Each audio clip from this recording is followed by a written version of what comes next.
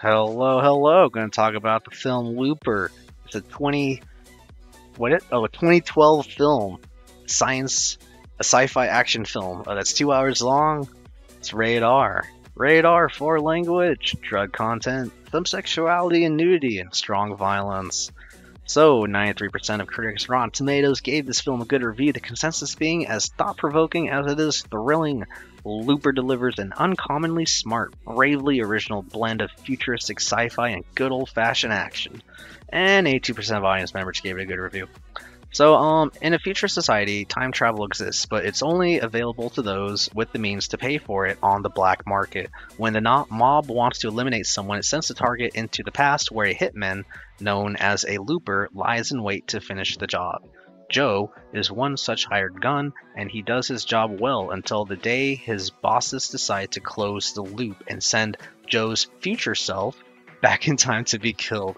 Um, yeah, so it's in English, directed by Rian Johnson. The film stars Bruce Willis, Joseph Gordon-Levitt, Emily Blunt, Paul Dano, Noah Segan, uh, Piper Perabo, Jeff Daniels, uh, King Koo, Tracy Thoms, Frank Brennan, Garrett Dillahunt, Nick Gomez, Marcus Hester, Jon Eyez, Kevin Stillwell, Thirl Haston, James Landry Hebert, Kenneth Brown Jr., Cody Wood, Adam Boyer, and directed by this guy Rian Johnson.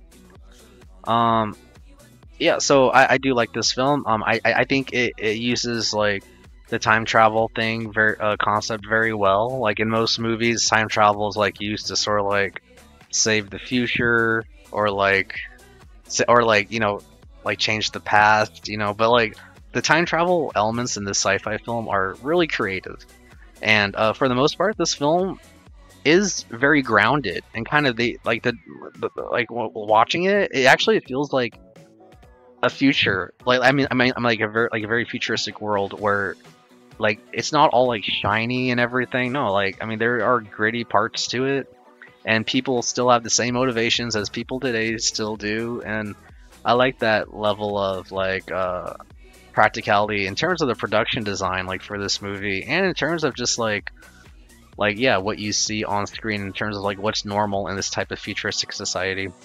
Um yeah and there are some supernatural elements in it that i won't spoil that are integral to the plot so i'll just avoid that because yeah, I'm not, i don't really want to spoil it too much but yeah and a lot of this film takes place like on a farm. Not really much of a spoiler but like i mean like it's such a grounded sci-fi film like with such ambitious like sci-fi elements but like it's so grounded and i just i just love it for that. And and but still yeah there are obvious sci-fi elements in the film whether it comes to the vehicles of course the time travel stuff um like weapons but you know at the same time people in the future they just want and need the same thing that people today want and need you know so.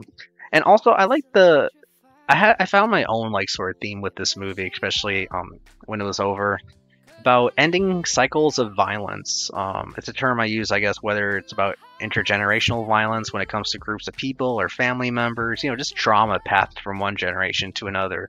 And then this film explores uh, like an app, like a path of ending cycles of violence that I thought was so innovative so ambitious, and I'm so glad that the movie did end the way it did because I don't think I've seen films that try to end like cycles of violence in the way that this film does, especially with the element of time travel. So, I mean, this is just a really good, thoughtful sci-fi t- time travel uh, film. I, I I'd recommend it definitely, of course. Um, I wonder if there's anything else I missed. Some awards. Let's see, National Board of Review Award for Best Original Screenplay. Rian Johnson won. Rian Johnson also won the Washington D.C. Area Film Critics Association Award for Best Original Screenplay. All right, and again for screenplay nominated, nominated for screenplay one. Wow, okay, so the screenplay won.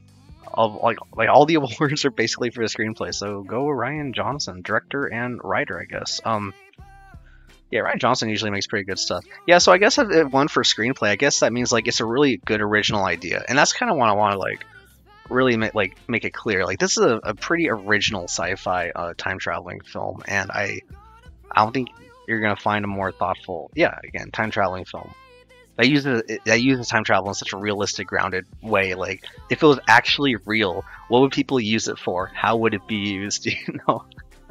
so it's a good film. If any of that sounds interesting to you, check it out. It's Looper from 2012. It's radar It's two hours long. Until then, y'all, take it easy. Peace.